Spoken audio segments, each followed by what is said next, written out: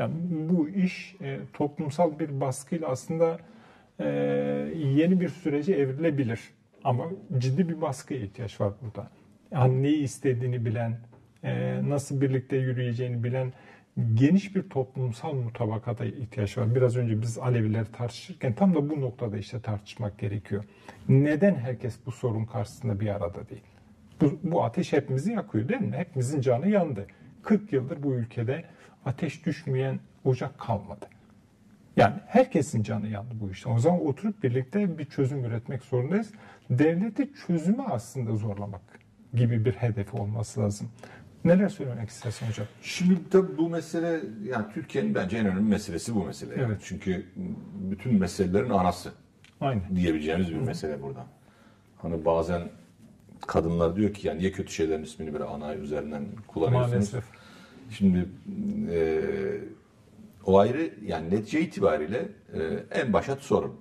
Yani bu ülkede Kürt sorunu. E, ya bugün ekonomik anlamda bir sıkıntı çekiliyorsa işte bu yeni vergiler getirip Türkiye'de insanların evine ekmek götürmekte zorlandığı bir dönemi yaşıyorsak da bunun sorun- Sebebi bu. sebebi budur Evet. yani.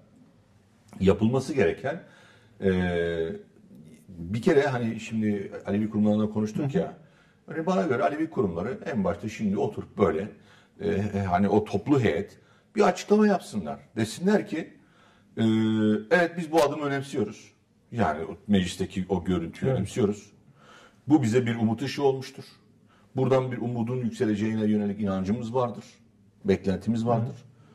Şu şu şu koşullarla bu çöz- Taleplerini de Tabii canım taleplerini de ortaya koyarak. Yani bir kere desinler yani süreçlerde biz de yer almak istiyoruz. bu çok önemli. Yani biz bu sürece biz de dahil olmak istiyoruz. Bir temsilcimizin ya da iki temsilcimizin bütün bu görüşmeler içerisinde bulunmasını istiyoruz. Üçüncü göz. Tabii bütün bu e, süreç nasıl yürütülecekse bir komisyon mu kuracak? O komisyonda yer almak istiyoruz. Bir ziyaretçi işte Öcalan'la ya da işte başka yerlerle bir görüşme heyeti mi olur? Biz de yer almak istiyoruz. Bunu demesi lazım. Biz bu ülkede yaşayan şu kadar geniş tabana sahip bir toplumsal yapıyız. Toplumun önemli bir kesimini temsil ediyoruz. Biz bu işi destekliyoruz. Önemli buluyoruz, olumlu buluyoruz. Geleceğimiz açısından, Türkiye'nin demokratikleşmesi açısından önemli buluyoruz. Ve biz bu işin içerisinde yer almak istiyoruz. Şimdi bir kere bir toplumun bunu söylemesi lazım önce. Niye söyleyeyim ya?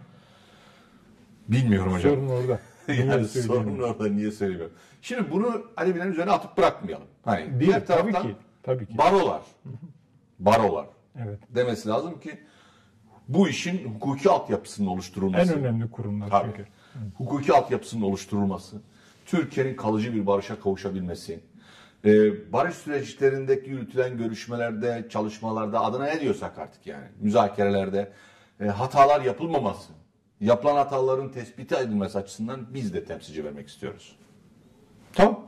Sendikalar, Evet. kadın örgütleri, bilmem ya şu anda toplumun bütün kesimleri işte bu e, atılan yani adım ya buna bir adım diyeceksek eğer hani bir işaret ise eğer bunun üzerine gidip zorlaması gerekiyor iktidara bunun için. Bak bu böyle el uzatmak meselesi değildir. Yani el uzattım bu iş bilmem ne oldu falan değil. Biz varız. Toplumsal kesim olarak biz Alevi olarak varız. Biz sendikal olarak varız. Biz işte barolar olarak varız. Biz işte e, efendime söyleyeyim bütün esnaf kesim olarak neyse artık yani bütün toplum bütün kesimler açısından söylüyorum. Herkes bu işle ilgili e, açıklamasını yapıp bu bu süreçlerin şeffaf yürütülmesi adına bakın burada e, herkes şey tartışıyor ya 2013-2015 sürecinde barış süreci nasıl bitti? O onu suçluyor, bu bunu suçluyor haklı olarak. Ama kimse bu işin doğrusu nedir bilmiyor. Niye bilmiyor? Çünkü şeffaf değildi. Tamam mı? Evet. Şimdi de, de ki o zaman biz bundan sonraki sürecin şeffaf yürütülmesini istiyoruz ve temsilci veriyoruz. Yani. Bu, bu adımların atılması gerekiyor. Şimdi sen bunun inisiyatifini Devlet Bahçeli'ye bırakırsan, e, Tayyip Erdoğan'a bırakırsan burada bir adım ileri mesafe alınamaz arkadaş. Bu mümkün değil yani. E, Kürt hareketinin yapabilecekleri belli. Hani işte gitti e, tecride karşı bir miting yapmak istedi. E, ama izin verilmedi hani tamam mı? Yani bir sürü sıkıntı yaşıyor yani. Çünkü Kürt hareketinin yapmış olduğu her hamle, her iş terörize edilip bir başka bir şeye konabiliyor yani. E, işte bu toplumsal kesimlerin burada harekete geçmesi gerekiyor.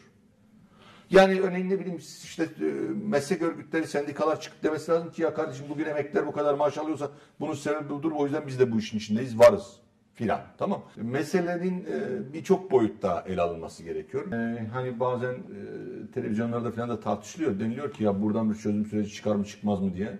Vallahi de billahi de bu toplumsal kesimlere bağlı yani. Kesinlikle. Aynen. Ben de inanıyorum. Yani oradan bir baskı oluşursa yani toplumsal kesimler dediğimiz bu kurumlar, kuruluşlar, işte muhalefet partileri buralardan çözüm açısından bir baskı oluşursa buradan çözüm çıkar. Ama bunlar oluşmazsa valla